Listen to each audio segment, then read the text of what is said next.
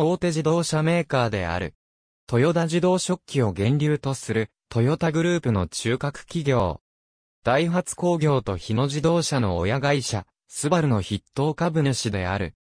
トヨタグループ全体の2019年の販売台数は世界2位、2020年は952万台で1位となった。メーカーとしては世界最大級の企業でもあり、単独売上高はメーカーの中でアップル、サムスン電子に次いで世界3位。2021年における企業ブランド力はサムスン電子に次ぎアジア2位。トヨタグループ創始者、豊田佐吉1936年に発売された AA 型乗用車、豊田佐吉が愛知県壁海郡刈谷町に創業した豊田自動食器製作所内に1933年9月に開設された自動車部がトヨタ自動車の起源で自動車部設置にあたり、中京デトロイト構想草案社で大同メタル工業創立者の川越洋一が豊田喜一郎を解き伏せ、自動車部設置に至った。初代自動部部長に川越洋一を迎え入れた。佐吉の息子である豊田喜一郎が中心となって設立したが、初代社長は佐吉の娘婿で喜一郎の義兄である豊田利三郎がついた。実質的創業者の第二代社長、豊田喜一郎初期製作における、鋳造、機械加工技術等のノウハウを活かし、研究期間を経て1935年11月に G1 型トラックを発表。翌1936年9月に、同社初の量産乗用車である AA 型乗用車と、同時に G1 型の改良型であるガ型トラックを発表した。これまで、トヨタ自動食器製作所の自動車部として、刈谷町で開発、製造されていたが、1937年8月28日に、独立した新会社が広大な敷地のある、愛知県西鴨郡衣町に設立され、本社と工場が設置された。本社工場が竣工された11月3日を創立記念日としている。豊田自動食器製作所自動車部時代は、社名中の豊田の読みが豊田であったため、ロゴや刻印も英語は豊田であった。エンブレムは漢字の豊田を使用していた。しかし、1936年夏に行われた新豊田マークの公募で約2万7000点の応募作品から選ばれたのは豊田ではなくトヨタのマークだった。理由としてデザイン的にスマートであること、画数が八角で縁起がいいこと、個人名から離れ社会的存在へと発展することなどが挙げられている。1936年9月25日にトヨタの使用が開始され、翌年の自動車部門独立時もトヨタ自動車工業株式会社が社名に採用された。本社が位置する豊田市は奈良時代から約1300年間衣と称された。1959年に豊田へ解消することを市議会で決議し、本社所在地の表示が衣市、大技下市場技崎山八番地から、豊田市豊田町一番地に変更された。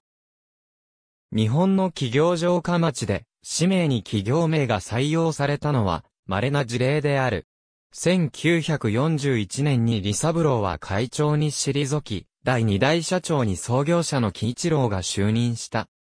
日中戦争及び太平洋戦争中は主に帝国陸軍向けのトラックと少数の AA 型乗用車、派生型の AB 型、AC 型などを生産し、陸軍の要請で川崎重工業との合弁で東海航空工業を設立したり、トヨタも航空機部門を作って航空機用エンジンを製造した。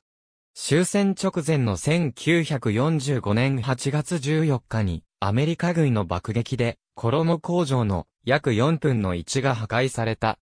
1950年にドッジラインに伴うデフレと戦前の好調を支えたカップ販売方式の影響を受けてトヨタは経営危機に陥った。豊田喜一郎社長は辞任に追い込まれたが、直後に朝鮮戦争が勃発して軍用トラック特需があり、倒産を回避、同時に技術者の中村健也の監督のもと、国産自家用車の開発を開始した。この経営記事、都銀、地銀含め、トヨタと取引のあった銀行24行による協調融資団が結成される中、帝国銀行、東海銀行を中心とする銀行団の緊急融資の条件として、販売強化のために、トヨタ自動車販売株式会社が設立された。この時融資に協力した帝国銀行と東海銀行が主力銀行となるが、融資条件に合理化も含まれており、トヨタは初のリストラを断行している。貸付金を回収した大阪銀行は、後継の住友銀行が桜銀行と合併するまで50年の間、口座開設や取引はされなかった。千代田銀行は取引解消に至らずも、再建策に消極的であったことから、後継の三菱銀行は、住友銀行ほどではないが、海外の資金調達や決済など一部に限られて、東京銀行と合併するまで45年の間、全面的な口座開設や取引はされなかった。カローラ。33年連続で国内販売台数1位を獲得し、日本のモータリゼーションの発展に貢献した。喜一郎の後を継いだ石田泰造社長の時代にクラウン、コロナ、ダイナ、パブリカなど、ロングセラーカーを開発し、販売網の整備を推し進めた。1956年クラウンが、ロンドン東京間を走破、国産自動車メーカー各社の自信となった。後の中川吹雄社長時代にスポーツ800、カローラ、ハイエース、2000GT などを発売。特にカローラの躍進により、トヨタは国内シェアトップを不動のものとした。この頃から北米、タイ、ブラジルなどにも進出し、カローラが発売後10年の1974年に社名別世界販売台数1位になって、トヨタの急速な世界展開をリードした。この頃日本は OECD に加盟して、外国車の輸入が自由化され、日本の自動車メーカーは生産力に勝る GM やフォードに対抗するべく業界再編が行われていた。シェア首位のトヨタは独占禁止法の関係で他社を吸収合併することが認められなかったため、1966年に日野自動車と1967年にダイハツ工業と業務提携を締結した。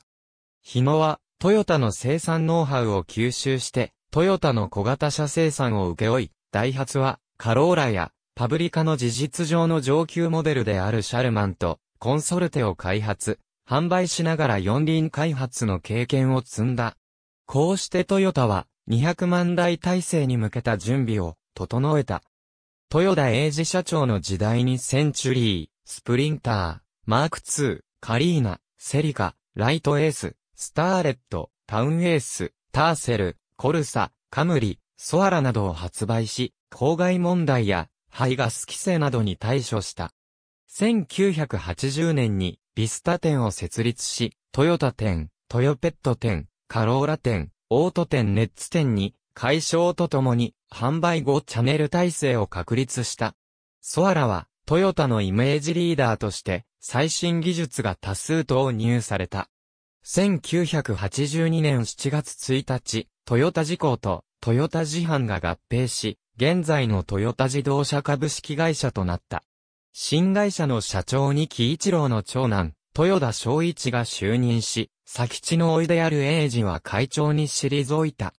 国内市場で、ビスタ、マスターエース、ハイラックスサーフ、 MR2、カリーナ ED、スープラ、セルシオ、ウィンダムなど次世代のトヨタを担う車種を発売し、国内販売高トップの座を強固にした。1989年にアメリカを主要マーケットとしたトヨタの上級ブランド、レクサスを立ち上げた。レクサス LS の成功は、日本車が高級乗用車としても通用することを証明した。1992年に、小一は社長を退き、弟の豊田達郎が社長に就いた。バブル経済の崩壊は自動車業界を直撃してトヨタも影響を受けた。時代はトヨタの得意とするセダンクーペなどの高級感、格好良さより SUV やミニバンなどの実用性を重視する分野へと移り変わっていき、シェアは一時40分パーセントを切った。トヨタはセダンに力を入れる一方、ミニバンのエスティマやクロスオーバー SUV の先駆けとなるラブ4を投入して状況に対応した。不況の続く中、1995年に達郎は高血圧で倒れ、副社長の奥田博士が社長職を継いだ。第8代社長、第7代会長の奥田博士。積極的な海外販路拡大路線が推し進められた。奥田は創業家出身の小一会長を後ろ盾に、業績が下降していたトヨタを再生させ、積極的な海外販路拡大路線を開始した。1997年に高級 SUV の先駆けとなるハリアーと、世界初の量産ハイブリッドカープリウスの販売を開始し、1999年のビッツ発売を機に、超藤尾に社長の座を譲った。超は、奥田の海外販路拡大路線を推進し、2002年以降は、年間50万台ものペースで、海外販売台数が急拡大し始めた。2003年に2代目プリウスの販売を開始したが、この成功は、ハイブリッドカーを要する環境先進企業、トヨタのイメージを確立させることに成功した。2000年から部品の設計開発段階からの原価低減を目指した CCC21 活動を開始し、ピーク時の2003年に3000億円の原価低減を達成した。2003年3月末集計における従業員数は65,551人。トヨタグループの連結子会社の合計は264,096人で、日本最大、世界で第3位の企業規模となった。2004年に旧ネッツ店とビスタ店を統合して、新生ネッツ店として再出発した。参加企業の関係強化も進み、1998年にダイハツ工業、2001年に日野自動車の株式の過半数を取得した。2005年に、長の後任として、渡辺克明が社長に就任した。渡辺も、奥田社長時代以降続いている、拡大路線を継続しつつ、CCC21 活動を発展させて、システム単位で、原価低減を目指す、6活動を開始した。同年、トヨタ町の本社新本館が完成し、地上14階、地下2階の一面ガラス張りの現代的な建物が完成。8月にレクサス店を日本へ導入した。10月にゼネラルモーターズが保有する富士重工業の約20%の株式のうち8.7%を取得し、筆頭株主になった上で、提携を結ぶことを発表した。2007年に世界販売台数が過去最多の936万6418台を記録し、2008年3月期の連結営業利益も過去最高となる2兆2703億円を記録した。2007年に名古屋駅前にあるトヨタビル、毎日ビルの建て替えによる再開発で建設されるミッドランドスクエア内に新しい名古屋オフィスが完成し、元名古屋ビル、JR セントラルタワーズオフィス、本社機能の一部と名古屋市内と東京本社から、それぞれ日本国内、日本国外の営業部門が移転した。第11代社長、豊田昭夫 THS2 と低価格により、爆発的にヒットした3代目プリウス。スピンドルグリルを採用する、レクサス RCF2008 年のリーマンショックで、世界の自動車販売台数は急減し、トヨタも2009年3月期の連結営業利益が4610億円で58年ぶりに赤字に転落した。2008年の年間世界販売台数は GM の販売台数が落ち込みが激しかったため897万2000台の販売台数を記録したトヨタグループが初めて販売台数世界一となった。この自動車市場の冷え込みに加えて2009年から2010年にかけて大規模リコールが発生したため、トヨタの経営は一転して危機的状況に陥った。この危機に対して2009年6月に新社長に就任したばかりの創業家出身の豊田昭夫は、トヨタが、経営学者ジェームズ・シー・コリンズが言うところの、企業消滅手前の、企業凋落の4段階目に瀕していると表明した。2011年に、東日本大震災、大大洪水が発生し、2010年から続く、記録的な円高もあって、トヨタグループの世界販売台数は、GM と、フォルクスワーゲングループに抜かれて、世界3位に後退した。2008年からさらなる原価低減を目指す緊急場活動を開始し、全社場活動、場開発部の発足まで発展させ、2011年から意思決定の迅速化のために大幅に取締役を削減した上で、海外事業体にいくつかの権限を移譲するなど、様々な企業努力を行った。2012年に過去最多となる世界販売台数974万7762台を達成し、2年ぶりに世界販売台数1位を奪還した。2012年末からのアベノミクスの金融緩和による円安で2013年3月期はリーマンショック後発で5年ぶりとなる営業利益1兆円超えを達成する。2013年4月にレクサスインターナショナル第1トヨタ第2トヨタ、ユニットセンターの4つのビジネスユニットを新設し、意思決定を迅速化した。これは1982年の後半合併後の最大の組織改変であった。同年のグループ年間生産台数は1、011007、274台を記録し、世界の自動車メーカーの中で初めての年間生産台数1000万台超えを達成し、翌2014年は年間販売台数でも初の1000万台超えを達成した。2015年3月期は日本企業で初の純利益2兆円超えを達成し、2016年3月期、売上高28兆4000億円は、5大商社である、三菱商事、三井物産、住友商事、伊藤忠商事、丸紅を抑え、日本1位である。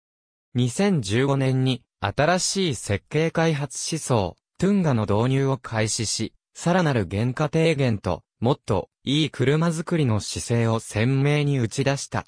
一般投資家向けに中長期保有を前提とした元本保証の種類株式、AA 型種類株式の発行を発表。即座に業績へ反映されない研究開発に投資するのが目的とされる。株式名はトヨタ初の量産乗用車 A 型にちなんで命名された。同年2月、トヨタは燃料電池車の特許5700件を無料開放。社会全体での水素技術の普及を図った。 CASE、MaaS CASE は、 Connected、Autonomous、Shared、Electric の頭文字を取った略称で、技術革新や概念の変化のことを指す。ケースとマースの波が同時に到来したことで、自動車業界は100年に一度の大変革の時代に突入した。トヨタはケースやマースに対する施策を矢継ぎ早に打ち出していく。モビリティカンパニーへの変革トヨタは自動車を作る会社からモビリティカンパニーにモデルチェンジし、世界中の人々の移動に関わるあらゆるサービスを提供する会社、すべての人に移動の自由と楽しさを提供する会社に変革するために、ホームアウェイ視点でのトヨタグループ全体の事業の再構築や、従来の枠組みにとらわれないモビリティサービス中心の協業を加速させている。トヨタ自動車工業、株式会社、トヨタ自動車販売株式会社、トヨタ自動車株式会社の社長の変遷トヨタ、自動車工業、株式会社、トヨタ自動車販売株式会社、トヨタ自動車株式会社の会長の変遷ハイラックスは6代目まで、日野自動車の羽村工場で、組み立てがされていた。1950年の経営危機を教訓とし、大野第一が中心となって、改善の思想や必要なものを必要な時に必要な量だけ生産するジャストインタイムを考案し、トヨタ生産方式の基礎が作られた。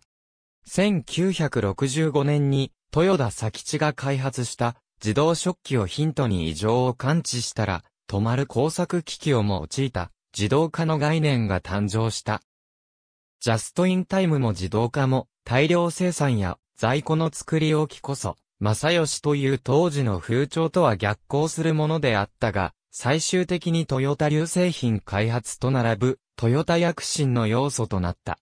一方で、00年代に販売台数を大幅に伸ばしていた頃は、設備をフル稼働する必要に追われてトヨタ生産方式が機能しなかったため、リーマンショック時に大量の在庫を抱えてしまう羽目に陥った。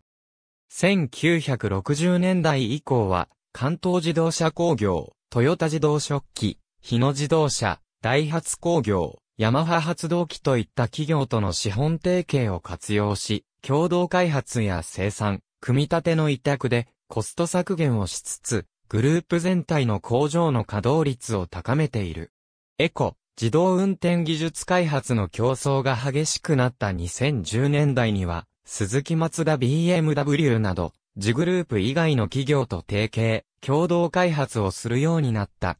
日本販売モデルは、現代の製造業で多く見られる、生産拠点の海外移転はほとんど行わない。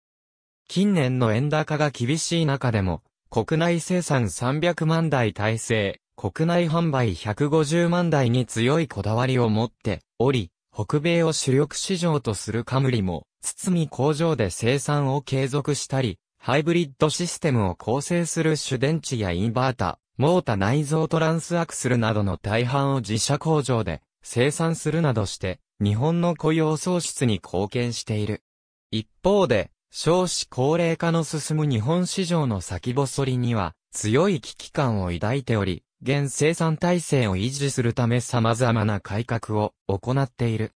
銀行融資に頼らず、自己資本の充実に努め、名古屋式経営の見本ともされる無借金経営で、有料企業の代表的企業とされるが、連結子会社には有利子負債が相応に存在し、顧客貸し出し事業を行う金融子会社が存在するため、連結決算で企業規模相応の有利子負債が存在する。一方で、多大な自己資本を抱え、トヨタ銀行とも称される。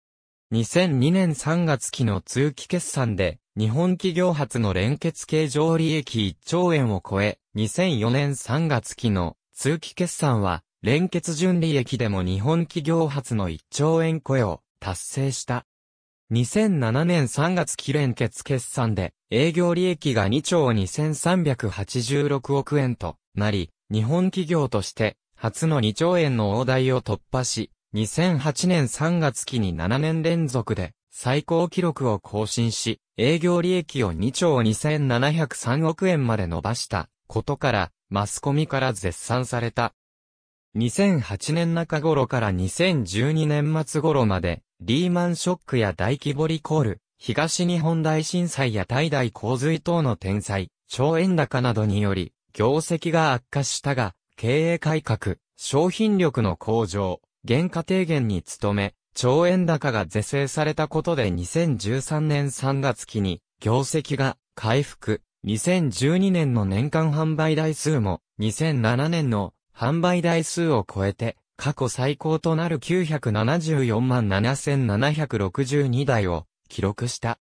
2014年3月期に営業利益が2兆2921億円となり6年ぶりに過去最高を更新し、2015年3月期でも営業利益2兆7556億円として過去最高を更新、純利益は2兆1733億円を記録し、日本企業初の純利益2兆円超えを達成した。近年は社会貢献活動に力を入れており、2006年1月からトヨタ社内に社会貢献推進部を設置し、交通安全や中国で植林活動、人材育成、自動車のリサイクルなどの環境への貢献などの社会貢献活動を積極的に行っている。豊田昭夫社長の体制下で、意思決定の迅速化と次世代の経営者育成を目的に、役員数と役職の大幅な削減が進められた。2020年7月時点で副社長、専務、常務、常務理事、機関職1級2級、技半級の各職位が廃止されており、9人の取締役の決定のもと、9人の執行役員がチーフオフィサーとして全社的な経営を担い、その下の幹部職が実行部隊のトップとしてカンパニープレジデント、地域 CEO、本部長を務める経営体制となっている。プリウス PHV ランドクルーザーアレクサスルファトヨタ車は信頼性が高く故障が極めて少ないことで知られており、特にカローラ、ランドクルーザー、ハイラックス、ハイエースの信頼性の高さは耐久性イコールトヨタのイメージを万国共通にまで高めた。日本市場1位の乗用車も、さることながら、ランニングコストが重要な商用車の需要も極めて高い。例えばタクシー専用車のコインフォートは100万キロメートル近く走行可能であるため、日本のタクシー車の8割を占める人気車種になった。高品質とコストダウンを両立するノウハウは自動車のみならずあらゆる製造業で参考にされるほど高水準で知られる。特にドアやトランクリッドなどと外反の隙間を狭く均一に仕上げる技術やドアの閉まり音、遮音性といった品質管理は定評があり、信頼性調査や顧客満足度の順位は安定して高い。トヨタが世界をリードしている環境技術にスプリット式ハイブリッド技術のトヨタハイブリッドシステムがある。1997年12月に世界初の量産ハイブリッド車、プリウスを市場に送り出した。初代はマイナーな存在であったが、二代目は原油価格高騰を背景に販売台数を伸ばし、三代目に至っては最初の1ヶ月間の受注台数が月間目標の1万台の18倍にあたる約18万台で納車が最大で10ヶ月以上待ちになるなど空前のヒットを記録。トヨタイコールハイブリッドのイメージを不動のものとした。2017年2月には、ハイブリッド車の世界累計販売台数が1000万台を突破している。苦手だった高速道路の走行を克服し、ヨーロッパでもハイブリッド車の販売が順調である。トヨタの世界販売台数におけるハイブリッド車の割合は12%と、世界の自動車メーカーの中で最も多いものとなっている。また、燃料電池車分野でも旗振り役となっており、2014年12月に世界初の量産型燃料電池車である未来を発売。試作車は1台、数億円ともされたが、技術開発により売価は1台700万円に抑えた。最初の1ヶ月間の受注台数は、年間販売目標400台を大きく上回る。約1500台を記録。約7割が個人客であり、北海道など遠方からの注文も相次いだ。内燃機関技術では、1960から70年代に、ヤマハ発動機にスポーツカーエンジンの DOHC 化を委託したり、1970年代に、ホンダ技研工業から CVCC の技術供与を受けたりするなど遅れを取っているイメージがあるが、ホンダ、日産が、排ガス規制の厳しさに、DOHC エンジンを諦めて、オフサ HC へと回帰する中でも、トヨタだけは、眼鏡に三元触媒、TGP 燃焼、酸化触媒の3方式に、EFI、可変吸気システムなど様々な技術を開発して、ベースエンジンの DOHC 化を可能にし続けた実績がある。1981年にソアラ専用として単独開発した 5M ゲウに世界で初めて DOHC に油圧式ラッシュアジャスターを搭載しメンテナンスフリーを実現した。また当時の国産エンジンでは初の 2000cc を超える大排気量 DOHC エンジンであり新たな国産 DOHC エンジンのジャンルを築いた。他にも小血中空間無シャフトや小血単造コンロッドなど、最新の生産技術を駆使した、軽量、高機能なエンジン、レージルを推進し、低回転にも強い DOHC エンジンのハイメカツインカムを単独開発。それまで、スポーツカーだけのものであった DOHC を、トヨタはいち早く全乗用車にラインナップした。1990年代には、可変バルブ技術の VVTI により、大幅な燃焼効率アップを達成し、2005年には、世界で、初めて島内直接噴射、ポート噴射を併用する技術の D-4S を誕生させている。2015年発売の4代目プリウスでは、世界で初めて最大エンジン効率40%の大台に到達し、2017年登場のダイナミックフォースエンジンでは、さらに41%に伸ばしている。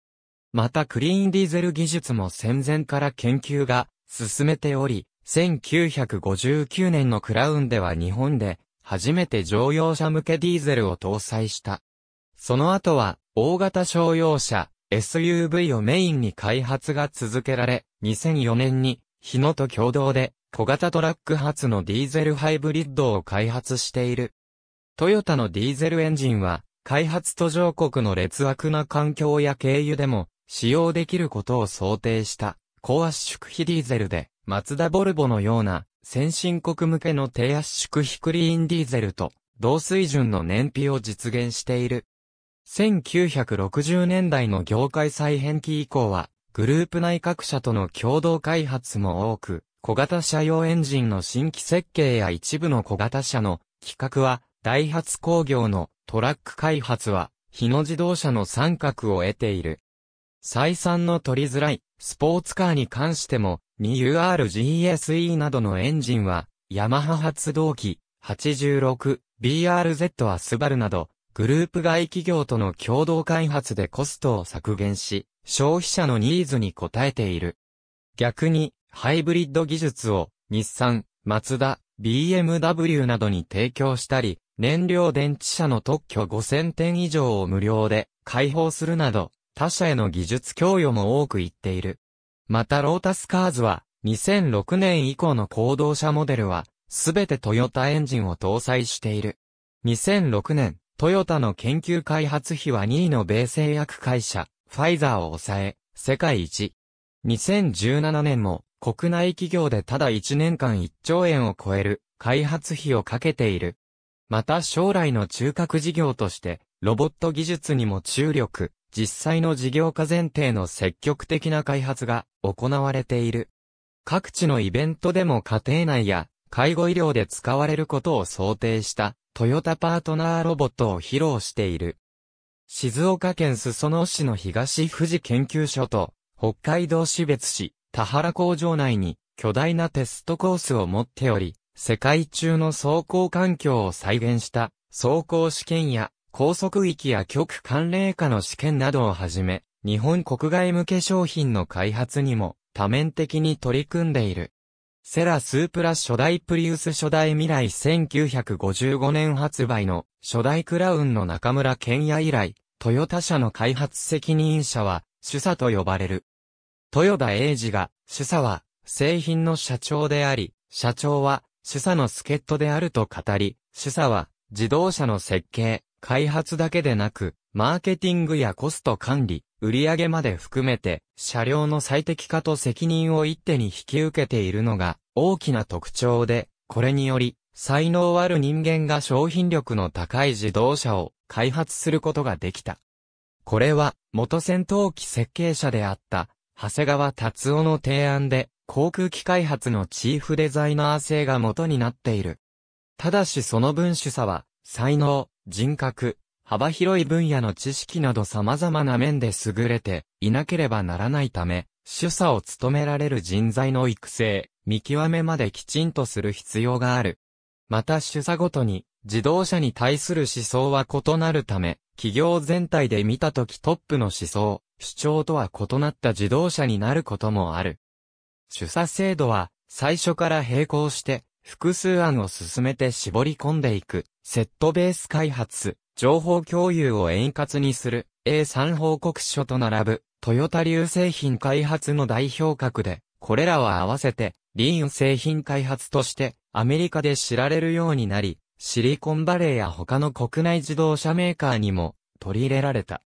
企画、設計の段階で生産担当者や部品供給者が関わって生産の川上で品質の8割を確保する、サイマルテニアスエンジニアリングも早くから採用され、品質は工程で作り込むを可能とした。一般にトヨタといえば、生産の川下のノウハウであるトヨタ生産方式の型が知られているが、近年はトヨタ流製品開発の方が注目され始めている。一方で、トヨタの場合は、各種差が最適化を図るために細部を変更したため、後に、プラットフォームや部品の種類が膨大に増えて、コスト増加を招いた。市場拡大と技術発展の著しくなった80年代から技術開発部門が1万2000人に膨れ上がり、技術も細分化されたことで、技術開発部門の発言力が増した上、部署間の情報伝達や調整に莫大な時間がかかっていた。結果として、トヨタの開発は、商品軸から機能軸へと傾き、主査が思う様な自動車を作れなくなる事態も発生した。これに対してトヨタは1992年に開発センター制を導入。主査は商品企画部長とセンター長の下に置かれて権限は弱体化したものの情報伝達、調整が効率化されて再び商品軸で開発が可能になった。しかし、技術部門の細分化は解消されず、技術者育成が停滞し、2008年の GI20 で、機能軸の開発体制に変更された。2012年以降は、主査とチーフエンジニアは分離されて、別々の役職となり、チーフエンジニアが従来の主査に近い役割になった。チーフエンジニアは製品企画本部長の直轄となり、権限が強化され、お客様に一番近い開発総責任者としての立場が明確にされた。2017年に激化する自動運転 EV 開発戦争の時代に適応するため、社内カンパニー制を導入、機能軸の横串を残しつつセグメントごとに独立した機能で顧客の要望に柔軟に対応しやすくし、再び商品軸中心の開発体制に戻した。1961年にトヨタが発売した初代パブリカはラジオヒーターリクライニングシートなどの快適装備を一切排除して安価さにおいては100点と言える水準を実現した。しかし販売は不審で原因を分析したところ少々高くてもいいから良い車を買いたいという高度経済成長の中の消費者心理の変化があることが分かった。そこで、パブリカに快適装備を追加して高価にしたデラックスモデルを発売した結果、販売台数を大幅に伸ばすことに成功した。この時の教訓から、80α 点主義という思想が生まれる。これは、初代、パブリカ及び初代カローラの開発主査である、長谷川達夫が打ち出した。次の考え方である。幅広く、ファミリーカーとして使っていただくためには、性能、居住性、フィーリングなどで満点に近い評価であっても、価格や維持費の面でお客様の手が届かないものでは、大衆車としては失格である。また、安くするために品質を落としてはならず、あらゆる面で80点以上の合格点でなければならない。その一方で、すべてが80点では魅力のない車になってしまう。これだけは他には負けないというものがいくつかあって、初めてお客様の心を捉えることができる。長谷川達夫、カローラの哲学、カローラの生みの親初代カローラは快適性を80点にまで高めた上で、アルファをスポーツ製にすることに決まり、ライバルの日産、サニーを上回る 100cc の余裕と当時珍しかったマクファーソンストラット式サスペンションの前輪喧嘩、丸型メーター、フロア式4速シフトなどの先進技術が多数盛り込まれた。この結果カローラは国民車としての地位を確立し、後のトヨタ車やライバル会社にも大きな影響を与えた。トヨタはトータルバランスと信頼性の高さで日本での市場5割という大躍進を遂げた一方、この欠点を優先して潰していく思想は、やがて、アルファを無視した80点主義の名で一人歩きし、無難な車作りに徹したため、コアな車好きたちから、レクサスも含めて、トヨタは退屈、個性がない自動車を白物家電化させたという非難を生む原因ともなった。乗用車の走行性能では他車に劣り、目に見えないところで手を抜くと批判などの批判を受けていたことから、豊田昭夫が主導になって退屈イメージからの脱却を図った。ニュルブルクリンクで鍛えたシャシーとキーンルックを合わせ持つ C、HR テストドライバーの成瀬博士の訓導を受けた豊田昭夫が社長に就任した2009年からトヨタはもっといい車作りというスローガンを掲げ、実用性だけでなく自動車としての魅力やインパクトを持つ車作りを目指している。キーンルックやレクサスのスピンドルグリルといった個性的なデザインを採用して、退屈から脱却を目指すほか、ニュルブルクリンクや5大陸走破、プロジェクト、モータースポーツなどで、スポーツカー以外の乗用車も、頻繁に走り込ませて、シャシーの出来を向上させる努力をしている。2015年に、車作りの開発方針である、トゥンガを導入した。これにより、従来以上に大胆にプラットフォームやエンジン、部品などを共通化、モジュール化して集約して大幅な原価低減を図った。核となるプラットフォームは運転のしやすさ、低重心、ドライビングポジションなど46項目を徹底的に追求し、走行フィーリングの大幅な向上を目指している。2019年には、ニュルブルクリンクや、世界中の道で得た知見をもとに構想された、テストコースを含む研究施設、トヨタテクニカルセンター下山を、豊田市下山に設立し、一部運用が開始されている。スポーツカーのような趣味性の高い開発も積極的に行っており、2021年現在、トヨタはレクサスも含めると、日本で最も多くクーペをラインナップする国産メーカーである。2016年頃から開発を進めていた水素エンジンを2021年5月22日から23日にかけて富士スピードウェイの24時間耐久レースに実戦投入した。投入車両はグレーン、ヤリスの G16E GTS 型を水素燃料仕様に改造したエンジンを搭載したカローラスポーツである。この水素を直接燃焼させ動力源とする車両での24時間耐久レース出場は、世界で例を見ない初の試みであった。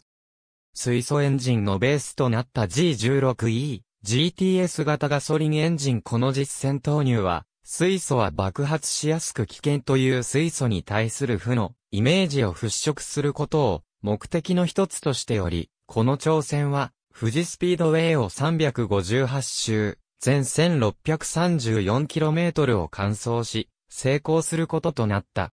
トヨタが水素エンジンの開発を進める理由として、社長の豊田昭夫は、全部が EV になったら、日本では100万人の雇用が失われる。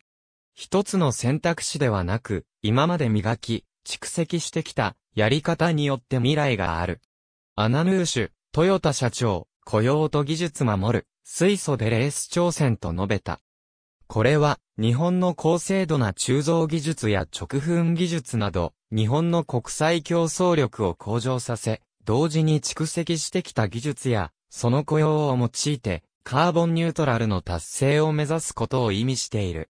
また自動車においても、構成部品の約3万点のうち実に1万点もの部品がエンジン関連の部品であるため、内燃機関の損失による雇用損失や国際競争力の低下を抑止するという意図の発言と捉えることができる。トヨタクラウンアスリートトヨタハイエース170の国、地域で展開され、単体でトヨタグループの約9割に当たる900万台を売り上げる世界最大のブランドである。OEM、自社開発を問わず、軽自動車からミニバン、スポーツカー、SUV、セダン、ステーションワゴン、トラック、商用車、重機に至るまで幅広いラインナップを揃えている。元来は創業者の名字のままに、トヨタであったが、1938年に五感の良さや画数の演技からトヨタに改名した。戦後しばらくの間、トヨタの車はトヨペットのブランドで発売されていたが、1961年のパブリカ以降は再びトヨタブランドで発売されるようになった。乗用車市場では特に日産自動車と激しく派遣を争い、特にカローラとサニーのシェア争いは CS 戦争と呼ばれた。これはトヨタが勝利するが、結果的にこの競争が日本の自動車の高性能化と低価格化を促した。1970から1980年代には、スポーツカーの分野で、トヨタの DOHC 対日産の最 1C ターボの戦争も勃発したほか、1990年代のバブル崩壊時には、タクシー市場にも参入し、最終的に日産からシェア首位を奪った。カローラの圧倒的な成功以降は、戦前から全国に根付いていた販売網に加え、多くの兄弟車、オプションを用意するという戦略で安定した売り上げを築いた。一方で、セリカで、スペシャルティカー、カリーナ ED で、ハードトップ、ソアラで、ハイソカー、ラブ4でクロスオーバー SUV などの新たなジャンルを切り開いたり、DOHC エンジンをスポーツカー、乗用車問わず大量生産するなど、時代の先駆者としての役割も担った。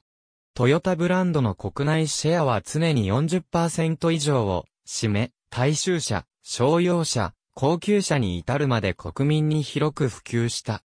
しかし一方で、北米では大衆車ブランドに過ぎず、若者にとっては退屈の象徴であったため、後に、レクサスやサイオンブランドが登場することになった。1997年に21世紀に間に合いましたというフレーズで世界初の動力分割式ハイブリッド車、プリウスを市場に送り出した。時期尚早と見られていたハイブリッドカーを他に先駆けて成功させ、トヨタイコールエコのイメージを定着させた。2006年に日本国内にもレクサスが導入されると、トヨタブランドは高級車のラインナップをいくつか失ったものの、センチュリー、クラウン、ランドクルーザーなどは残されたため、トヨタのブランドイメージは維持されている。2010年以降は、モータースポーツ好きで知られる豊田昭夫社長が積極的にレースやニュルブルクリンクのイメージを市販車にリンクさせており、従来のエコ、上布だけではなく、より車の楽しさを感じられる、ブランド作りに向けた努力をしている。レクサスの広告等。レクサス LC500H セダンクーペ SUV を主力とする日本車で最大の高級車ブランドである。世界65カ国で年間60万台以上を売り上げ、日本や北米市場で BMW やメルセデス・ベンツと激しく派遣を争っている。1989年、北米で高級車、ブランド、レクサスを創設し、大型高級セダンの LS と ES を発表した。従前、米国トヨタの最上位車種はクレシーダであり、トヨタブランドで高級車種を販売することは、限界があるとの判断からだった。開業後、日本の大衆車メーカーの参入余地がないと見られていた、北米高級車市場で、たちまち成功を収め、メルセデス・ベンツをはじめ、BMW、キャデラックなど欧米の高級車メーカーに強い衝撃を与え、北米における高級車の概念をも変えてしまった。また1998年発売の RX は SUV が高級車の一形態としても成功するという例を示し、BMW やポルシェなどの SUV 参入の遠因になった。2005年8月から日本国内でもレクサスブランドを展開し、GS、SC、伊豆の3系列の日本での販売を開始した。レクサスの日本での展開もウィンダムは発売当初に放映された CM では、レクサス ES300 日本名、ウィンダムとのキャッチフレーズが流された。2006年9月19日に、レクサスの機関車種の LS が投入され、続いて RX、HS、CT が投入された。レクサスブランドは、長年、日本独自のブランドデザインとして知的かつ先進的なステータスを与えたいとの考えから、過敏な装飾を抑えた落ち着いた内装で乗り心地、品質、性能に重点を置く一方で、走行性能はあまり重視してこなかった。同様に販売戦略の観点から、レクサスブランドのレース参戦やターボ車の投入に慎重であった。しかし近年は操る楽しさや走行性能に特化した F シリーズを登場させたり、イズや NX などにターボ車を投入したり、国内外のレースにレクサス車を参戦させるなど方針を転換してきている。2012年に社内カンパニー、レクサスインターナショナルとして機能をトヨタから独立させたほか、レクサス専用プラットフォームも開発して、トヨタブランドとの差別化を図っている。GRMN のロゴビッツグレーンスポーツグレーン2017年に登場したスポーツカーブランド。2010年に誕生したジーズを全身に持ち、黒と赤のロゴを特徴とする。グレーンは画像レーシングの頭文字で、モータースポーツ活動を統括する、社内カンパニーのグレーンカンパニーが、レースで得た知見や技術をフィードバックして開発する。利益は、グレーンカンパニーへと還元され、景気動向に左右されない、モータースポーツ活動を可能とすることを目的としている。キャッチフレーズは、イグナイト。マーケティング戦略は、フェイス2フェイスとし、各都道府県のディーラーの一部を、グレーンガレージに指定して、グレーンコンサルタントやファン同士の交流の場を設けている。グレードは限定生産の GRMN を頂点とし、GRMN の量産版であるグレーンエントリーモデルのグレーンスポーツ、アフターパーツのグレーンパーツの4つの階層に分けられている。多くは86、ビッツ、マーク X、アクア、ノアなどといった既存の乗用車のチューニングカーとなるが、空力、吸排気系、サスペンションなどに加えて、スポット溶接の内増しやトランスミッションの多段化など、生産工程で強化されている点が、一般的なチューニングと異なる。安全、疲れない、ずっと乗っていたい車を目指しており、基本的に GRMN 以外はエンジンに手を加えない。最初はトヨタブランド車のチューニングカーのみのラインナップであったが、その後グレーンブランド専用車であるグレーンスープラやグレーンヤリスを開発したり、トヨタでは扱いのなかったダイハツコペンのグレーンスポーツモデルも発売するなど、トヨタブランドとの差別化がなされるようになってきている。なおレクサス F も限定生産者を頂点として、F、F スポーツと階層付けされている点がグレーンと共通しているが、F はあくまでレクサス専門のシリーズであって、レクサスというブランドの価値を高めるためにある点や、グレーンガレージのような専門ディーラーが存在しない点が異なる。トヨペット公募により1947年発売の SA 型乗用車、SB 型トラックの愛称をトヨペットとし、それ以降、トヨタの小型車にトヨペットの名が付けられることになった。1954年に発売された 1000cc の SKB トラックは簡素なセミキャブオーバー型トラックだが、当時主流の三輪トラックへ対抗した商品であり、あえて戦略的に低価格で販売したことで、トヨタ自動車始まって以来の成功を収めた。これをきっかけに、日本の小型トラック市場は、三輪から四輪に移行した。トヨペットコロナ1955年に初代クラウンとマスターが誕生。クラウンは外国メーカーと提携せずに前輪独立喧嘩や低床は死後フレームなどアメリカ車並みの構成をとった最初の純国産乗用車となった。1960年代にはコロナが日産、ブルーバードと BC 戦争と呼ばれる激しい争いを展開した。関東自動車工業の技術力で、当時トヨタ車唯一のモノコックボディを採用してはいたが、既存コンポーネンツの寄せ集めで親身に欠けた、初代、初期型で、強度や耐久性の不足が露呈した2代目と、当初は劣勢であったが、アローラインスタイルの3代目となった。翌年の1965年1月、初めて、ブルーバードをかわして、国内販売台数で首位となった。1956年、全国にトヨペット店が登場するが、既存のディーラーを納得させるため、クラウンとマスターは、トヨペット店ではなく、トヨタ店で扱われ、トヨペット店はコロナを除くと商用車ばかりのラインナップとなった。こうした矛盾から、トヨペットの各モデルは段階的に廃止され、1978年の6代目コロナを最後にブランドと社名としてのトヨペットは廃止されたが、今もなお東京地区を除き販売チャンネルにその名を残している。ウィル・ウィル・サイファ1990年代末に20代から30代を中心とするニュージェネレーション層をターゲットに松下電機産業、花王、アサヒビール、近畿日本ツーリストなど他業種各社と共に立ち上げられた合同プロジェクト。トヨタは既存のプラットフォームを流用し、前衛的な技術やデザインの自動車を発売したが、2005年2月にトヨタウィルサイファの販売を終了している。サイオンサイオン FRS。サイオンはアメリカの若者向けのブランドで2003年に開始。いわゆるジェネレーション Y と呼ばれる20代前半の若い世代をターゲットとする。トヨタの主要顧客は外して年齢層が高く、若年層の取り込みが課題であった。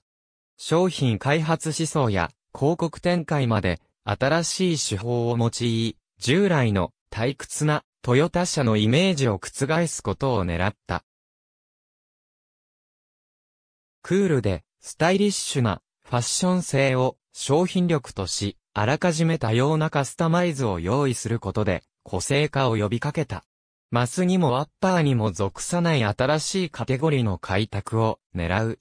開始当時の車種は、サ、XB で、後に日本未発売のクーペトンカーボンが追加された。86は、北米で、サイオンブランドから FRS の名前で販売された。しかしサイオン登場時の若者が、中年になり、現代の若者が、トヨタの実用性、ブランド力を評価し始めたことでその役割を終えたと、され、2016年に廃止された。カローラは、現在もディーラー名に名を残す。創業当初から全国各地の地場資本に協力を求め、早期に販売網を整備した。現在国内でレクサスを含め合系統のディーラー網を参加に持つ。創業者の豊田喜一郎は車を作ることばかりに熱中して販売に無頓着であったため、車が完成する段階になってから日本 GM 副支配人、販売広告部長であった神谷翔太郎のもとに赴き口説いた。神谷はすでに高級取りであったが、豊田の熱意を買い引き抜きに応じた。豊田は神谷に販売に関する全権を委託した。神谷はそれまでの人脈とディーラーからの信頼により、多くの GM 代理店をトヨタに引き込むことに成功。トヨタは戦前の日本自動車市場をフォードと2分した。戦時体制に伴うアメリカ車輸入、国内組み立て停止に乗じ、GM、フォードが開拓していた各道府県のディーラー網を、自社ディーラー網として組織化して取り込んでいった。この作戦は、戦後、自動車製造、販売が、再び許可されてから大きく役立つことになる。1949年に GHQ による生産制限が解除され、トヨタは売り上げを一気に伸ばした。既存の販売体制では追いつかないと、神谷は判断し、クラウンマスターなど乗用車を扱う既存のトヨタ店のほか、商用車、小型トラックを中心に扱うトヨペット店、大衆車のパブリカを売るためのパブリカ店、大型トラックを売るためのトヨタディーゼル店を次々に誕生させた。パブリカは想定より売れなかったが、1966年発売のカローラが爆発的に売れたため、パブリカ店は1969年にカローラ店へと名称を変更した。カローラのあまりの伸びに販売体制が追いつかず、急遽、カローラスプリンターとミニエースを1000倍とする、トヨタオート店を設立している。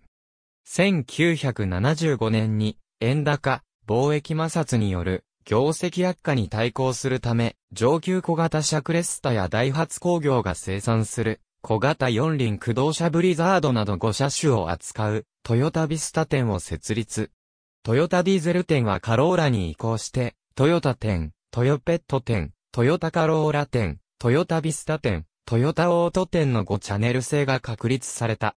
1998年にトヨタオートは、ネッツトヨタに解消、2004年にトヨタビスタとネッツトヨタは合併して、ネッツ店となった。2005年にレクサス車を扱うレクサス店が展開されて、現在に至っている。2017年現在のトヨタの国内ディーラー数は約4900で、ホンダ、日産の倍以上である。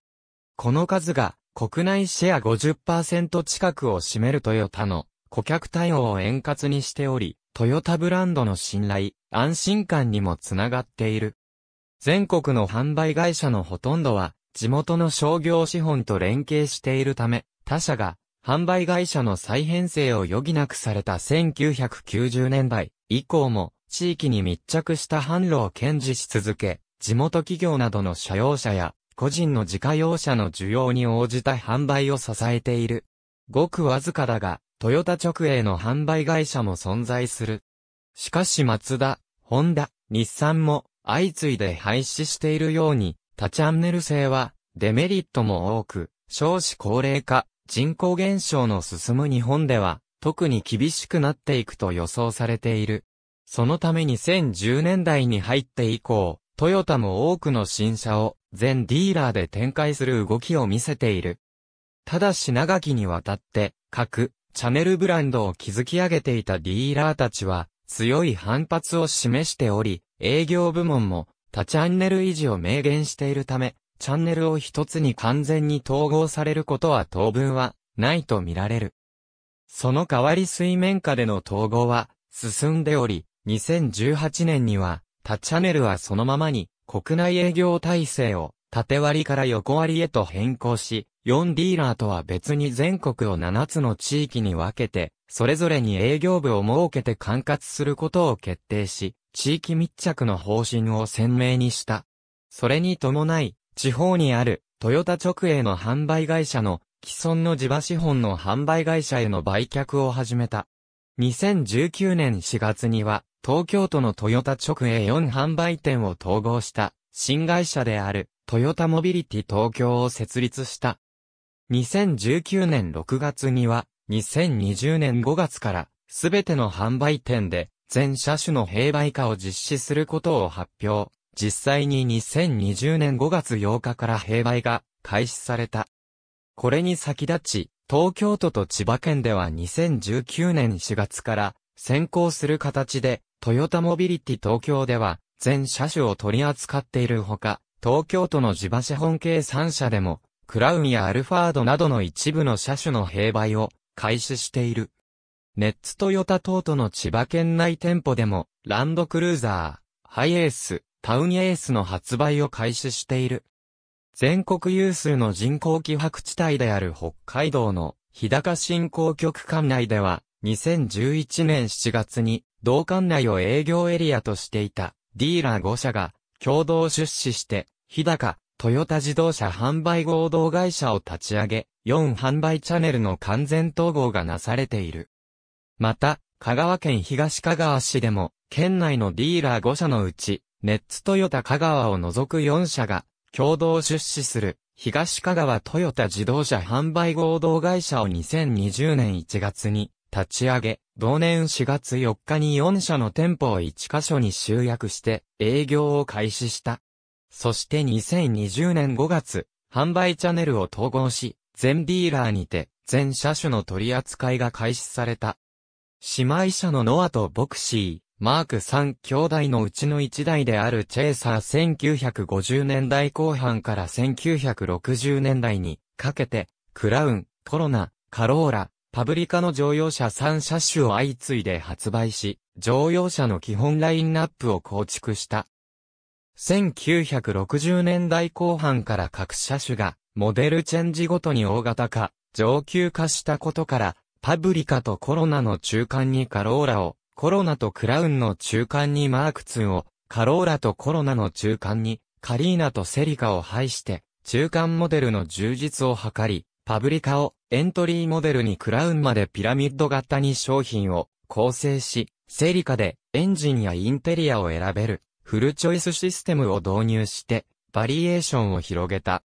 1980年代に用いられた、いつかは、クラウンのキャッチコピーは、当時の販売戦略を端的に表している。同一車種、同一ボディでありながら販売店系列別に若干、衣装を変えた、姉妹車を投入し、系列間の競争を促して、さらなる拡販を試みた。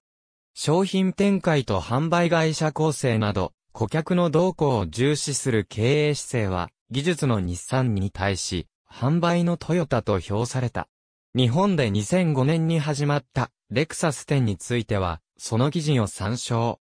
他のメーカーが全店舗全車種扱いに移行していく中、トヨタ自動車のトヨタブランドは長らくディーラーごとに取扱い車種が異なっていた。特にネッツ店は他のトヨタ系列との併売をしている車種が極端に少なかった。かつては大阪府内のみ、トヨタ店とトヨペット店の取扱い車種が逆だったが、やがて一部車種を除き他の都道府県と同様の取扱いに移行した。しかし2018年11月、トヨタ自動車は2022から2025年度をめどに各ディーラーで全車種を販売することを発表。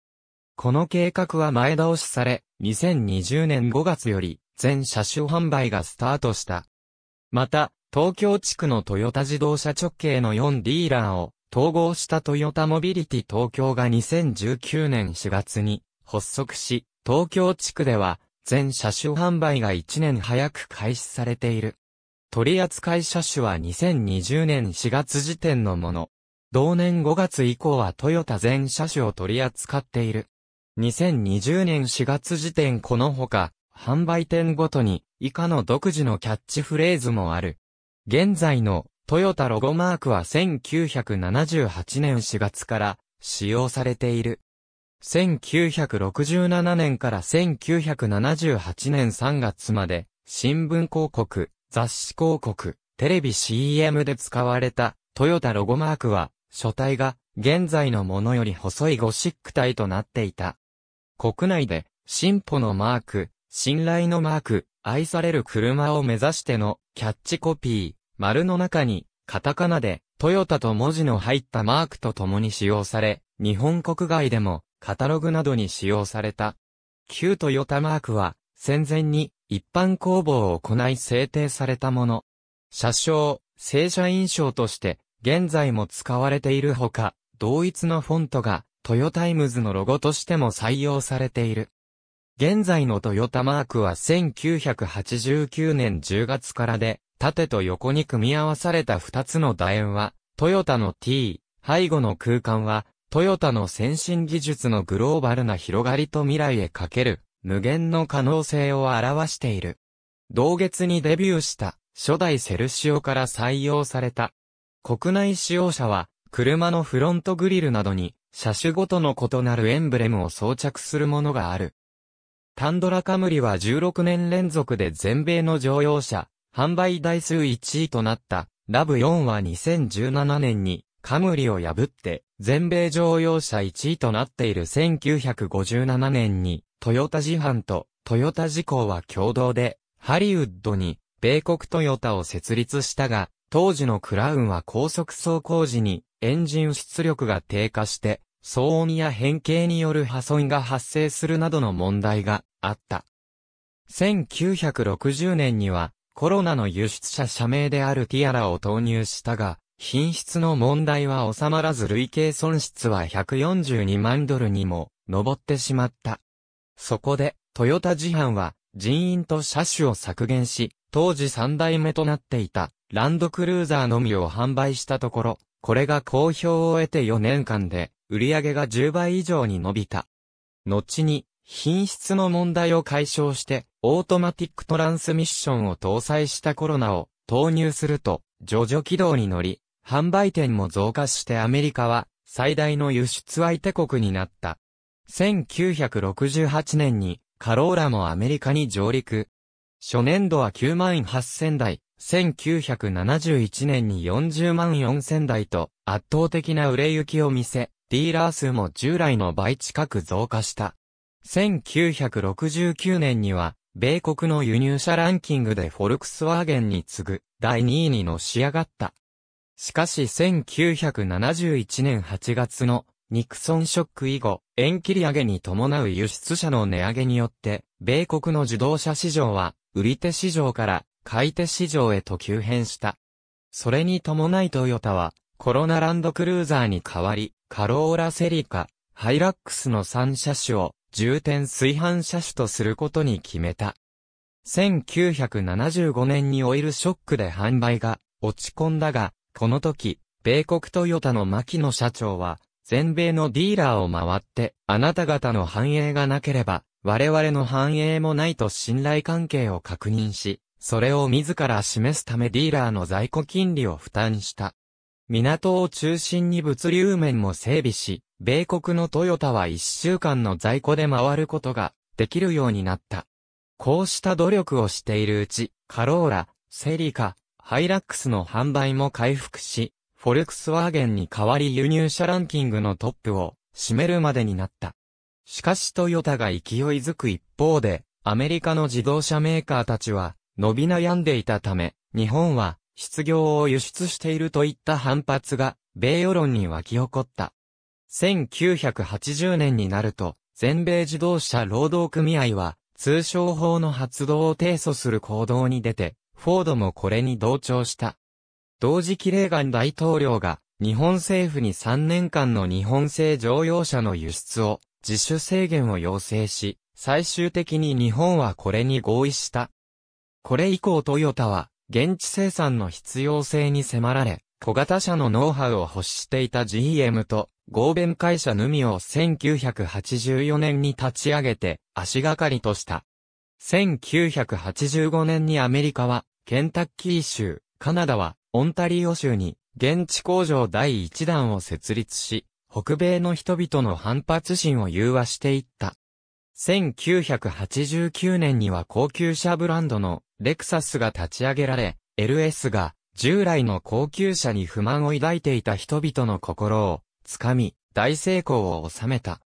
また2003年に若者向けブランドのサイオンを立ち上げたり、2006年にテキサス州でタンドラの生産を開始してフルサイズピックアップトラック市場へ本格参入するなどラインナップの拡充に努めた。こうして、現地生産、北米向けラインナップ、販売網などが強化された結果、1988年に90万台強だったのが1990年に105万台、2007年に262万台に達した。シェアも1988年の6.1%から2001年に10%を超え、2007年に16.1%と、フォードを抜いて2位に達した。2009年に、ブランド別販売で3年連続1位、レクサスが、ラグジュアリーブランドで10年連続1位、カローラとカムリが乗用車セグメントで1位と2位を獲得、ノンフリート販売でも初めてシェア1位を獲得した。小型ピックアップトラック市場においてもシェア首位を獲得し、2012年には同市場シェア70%を占めるまでになった。またパワフルで攻撃的なスタイルにした2代目タンドラが好評で、同市場を加戦していたビッグ3のクライスラーに肉薄した。2009年に大規模なリコール問題が発生し、苦境に立たされたが、ンツェと米国航空宇宙局の包括的調査で、トヨタの電子スロットルは欠陥がないことが認められた。この問題によりトヨタの販売は2011年までに50万台減少したが、2012年以降は反転回復傾向にある。2016年にはサイオンブランドを廃止した。2017年にトヨタのメキシコ工場建設計画についてドナルド・トランプ大統領が激しく非難したが、トヨタはこれに対してケンタッキー工場に13億3000万ドルの追加投資を発表し、一点トランプはトヨタを評価するコメントを出した。第一記者集団と包括提携関係にある。2004年9月に、公衆記者集団との間でも、合弁会社を設立。自動運転車や車載 OS の分野で自動車メーカーに加えて IT 企業が参入し始め、自動車と IT の融合が加速している。Google のセルフドライビングカーを代表とする無人自動車が登場し、人工知能技術の実用化が現実味を帯びた2016年に、トヨタは IT 企業やベンチャー企業と競合する時代になった。トヨタは自動車が Google のインフラ的な単なるハードウェアになってしまうのを懸念し、Google との提携を断っており、トヨタ独自で開発することを明確にしている。ただし NVIDIA など技術を有する企業と共同開発は行っている。IT 業界以外の企業がシリコンバレーに研究開発拠点を設置する動きに同調し、トヨタもシリコンバレーで研究開発を加速させ、人工知能、自動運転、ロボット、バックエンドとなる IoT やビッグデータ、クラウドコンピューティングの領域でメインプレイヤーと捉えられている。トヨタ自動車は戦後すぐに経営危機に陥った時に日本銀行名古屋支店長の斡旋で帝国銀行と東海銀行の融資によりこれらを取引銀行としてきた。三井に機械、三井行災研究所、綱町三井クラブに加盟し、三井に機械に、オブザーバーとして参加している。豊田昭一の妻は、三井家の出身である。昔の六大企業グループとは、三菱金融会、三井に機械、住友白水会、一貫三金会、不要会、三は三水会である。上下一致、市政業務に服し、産業報告のみを、拳ぐべし研究と創造に心をいたし、常に自流に先んずべし、カビを戒め、質実合憲たるべし、温情友愛の精神を発揮し、家庭的美風を作行すべし神仏を尊崇し、法恩感謝の生活をなすべしトヨタグループを形成した先人たちは創業以来の理念をまとめ、豊田公領として制定して精神が長く、継承されることを願った。この理念は、グループ各社の社税や基本理念に引き継がれ、それ以後グループに参画する会社も理念を共有してきた。戦後国民所得が上昇すると、耐久消費財の需要が伸び、昭和40年代に入ると 3C が新三種の神器としてもてはやされた。しかし東京オリンピック後の不況で、暴食は経営危機に直面し、日本電装から自動車用部品の生産を受け、事業の重点を自動車へと移していく。これは、トヨタグループがいよいよ自動車事業に主軸を置くグループになったことを象徴する大きな出来事であった。グループ各社は、現地との調和を図りながら、グローバル展開を一段と加速させた。電装は、エアコンの生産会社を主要国に次々と設立したのをはじめ、燃料部品装置の生産会社を他国に設立した。トヨタ自動食器と共同出資の生産グループもドイツに設立した。トヨタグループは世界最大の人口を抱え、市場の将来性が大いに期待される中国の事業を重要案件の一つに位置づけ、自動車産業の発展に貢献する活動を行っている。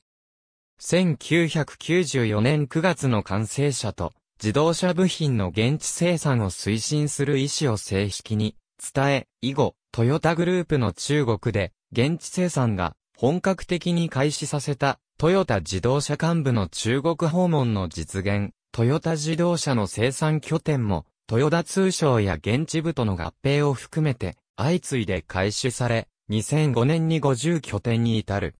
各社が生産拠点を持つ東南アジアで新たな拠点の新設と相互保管体制づくりが大きく進展した。中国と並んで21世紀の巨大市場と目され、将来性が大いに期待される南アジアや南米でもグループの生産拠点に支えられ、トヨタの生産体制は強化された。2004年10月に名古屋で世界会議が開催された。この年の世界会議でメイン会場となった名古屋国際会議場で夢いっぱい ITS 未来博が開催されたのを筆頭に2005年に愛知県常滑市沖で中部国際空港セントレアが開港し2006年3月に日本国際博覧会の愛・地球博を開幕させた。名古屋はセントレアと日本国際博覧会開催に向けて公共交通機関や新しい道路が整備され、名古屋駅前は再開発事業が進展した。トヨタグループの東和不動産は2002年12月に名古屋駅前にセンチュリートヨタビルを完成させ、2004年11月にトヨタと毎日新聞社などの3社共同によるミッドランドスクエアを完成させた。ラリーとスポーツプロトタイプに始まり、フォーミュラカー、GT などジャンルを問わず幅広く、レースに参加してきた。世界選手権では、WRC と WEC、北米でも、ナスカールやカート、インディカー、インスサなどでチャンピオンを獲得した実績がある。かつては、コンストラクターとして F1 にも8年間参戦していた。また市販のトヨタ車は、ラリーレードやオフロードレースなどで、プライベートチームからの人気が高い。アマチュアレースの進行にも力を入れており、ナンバープレート付き車両で参加できる、ネッツカップや86、BRZ レース、TGR ラリーチャレンジなどはイベントによっては、参加100台の規模を誇る。豊田昭夫の社長就任以降、トヨタのモータースポーツ活動は、画像レーシングの名のもとに人を鍛え市販車をより良くするためのものとして位置づけられ、社内で地位が高められた。2017年にカンパニー制を導入した際、持続的なモータースポーツ活動を目的として、グレーンカンパニーも創設された。トヨタ系のディーラーが自主的にレーシングチームを組織することも多く、スーパーフォーミュラで3年連続でチャンピオンを輩出しているインジング、スーパー GT で優勝経験のある LM コルサ、埼玉トヨペットグリーンブレイブ、エイプリルとジョイントするトヨタカローラ、ミエなどが有名である。また現トヨタ自動車社長の豊田昭夫や埼玉トヨペット取締役専務の平沼隆之、トヨタカローラ、三重社長の長井博明など、ドライバーとして、ステアリングを握る経営者も多い。毎年12月、トヨタスポーツセンターで開催される、社内駅伝大会終戦直後から、トヨタのスポーツ活動への傾注は始まった。1947年に公式野球部を設立。1948年には男子バスケ部、女子ソフトボール部が生まれた。バブル経済崩壊以降、企業スポーツは真っ先に経費削減の対象になるが、トヨタは9廃部ゼロを主導した。2008年のリーマンショックを機に赤字転落しても、その方針は変わらず、2016年時点で運動部は35を数える。そして2016年7月26日、公式野球部は第87回都市対抗野球大会において、日立製作所を破り、ついに初優勝を決めた。社風として、スポーツを奨励する傾向がある中で、とりわけ熱心に行われているのが、12月第1日、曜日に開催される、職場対抗の社内駅伝大会である。1947年に、数十チームの参加から始まった駅伝大会は、会社の発展とともに開催規模を拡大していった。2019年12月1日に行われた第73回大会には、会場に選手や社員、家族ら約4万人が集まるほどになった。従業員用の施設、トヨタスポーツセンターが1973年5月16日に完成すると、完成以後は同施設で行われるようになった。昼休みや休日を使った社員の自主活動ながら、会社は施設利用など様々な面で支援する。豊田昭夫社長や友山茂樹副社長などトップの経営陣もほぼ毎年応援に駆けつけている。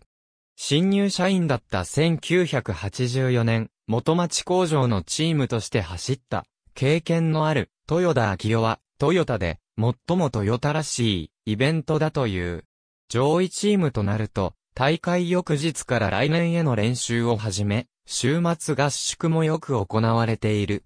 1998年までは国内の事業所、関係会社だけの参加だったが、1999年に米国の現地法人が初めて参加し、海外勢が加わった。今では、海外の12事業者が参加し、中国、インド、南アフリカ、台湾、インドネシア、米国、フランス、トルコからランナーが集まるようになった。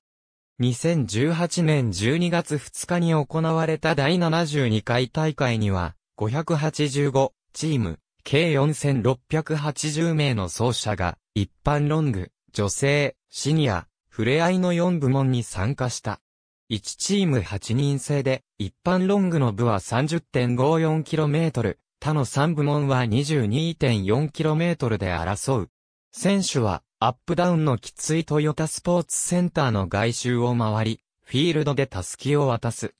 2020年の第74回大会は、新型コロナウイルス感染拡大の影響を考慮し、中止された。中止は労働争議が激化した1950年以来70年ぶり。2021年9月11日、コロナ禍が収まる兆しが見えないため、同年の大会も中止したことが報道で明らかにされた。建設中のトヨタテクニカルセンターゲザンアメリカヨーロッパアジア太平洋直営市会社関連会社運営北米ラテンアメリカヨーロッパ、アフリカアジアオセアニア中東トヨタのマリンボート以前からヤマハ発動機のマリン関係部門と提携があったが、1997年にトヨタ自動車独自の造船部門、トヨタマリンを設置した。分野を中小型の個人向けプレジャーボート、ポーナムに絞り、漁船や貨物船など業務用の船舶は扱っていない。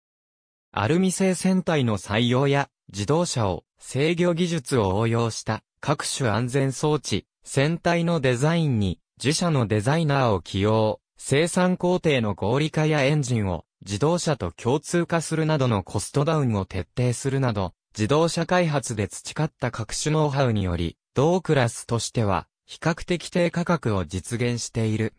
直営営業所の開設や全国規模の販売網など、販売体制も整備されている。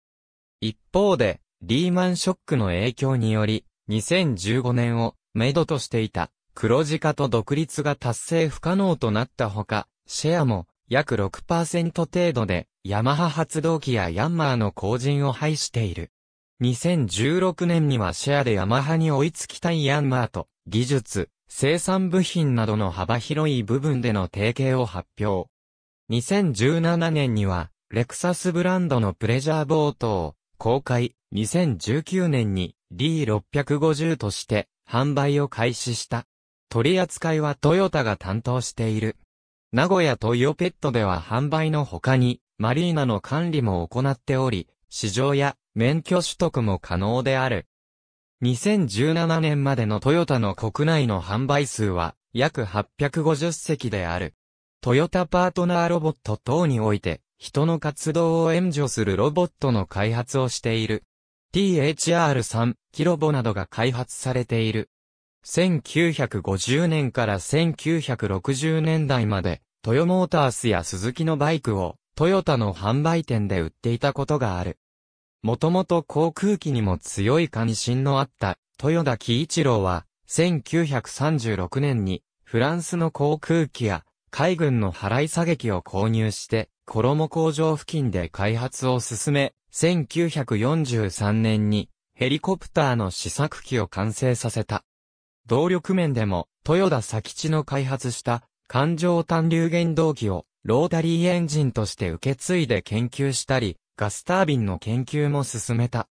1942年に陸軍の要請で川崎重工業と共同出資し、東海航空工業を設立した。トヨタにも航空機エンジンの開発、生産が要請され、社内に航空機部門が誕生。カリアに新設した工場で航空機用空冷エンジン、排気管、冷却機などを開発、生産した。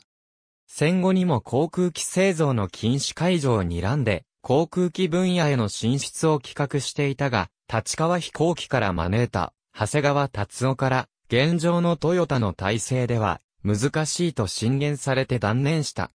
その後1997年にセゾングループから買収した子会社である朝日工業が航空機事業を展開しているほか、トヨタが筆頭株主のスバルが航空宇宙部門を持っている。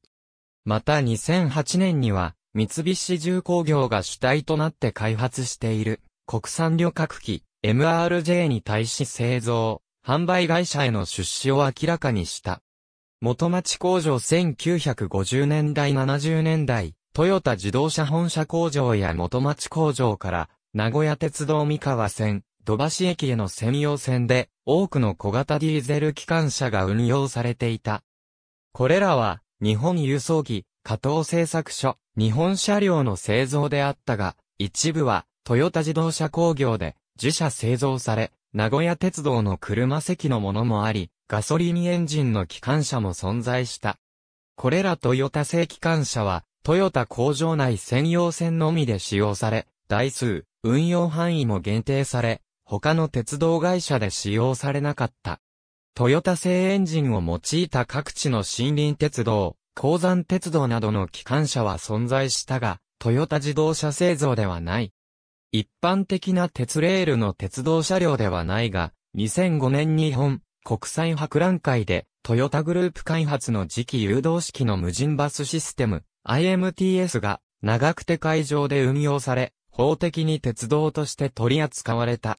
トヨタ自動車は現在、子会社のトヨタスマイルライフ株式会社他と共同で、住宅地をいくつか造成開発している。ありがとうございます。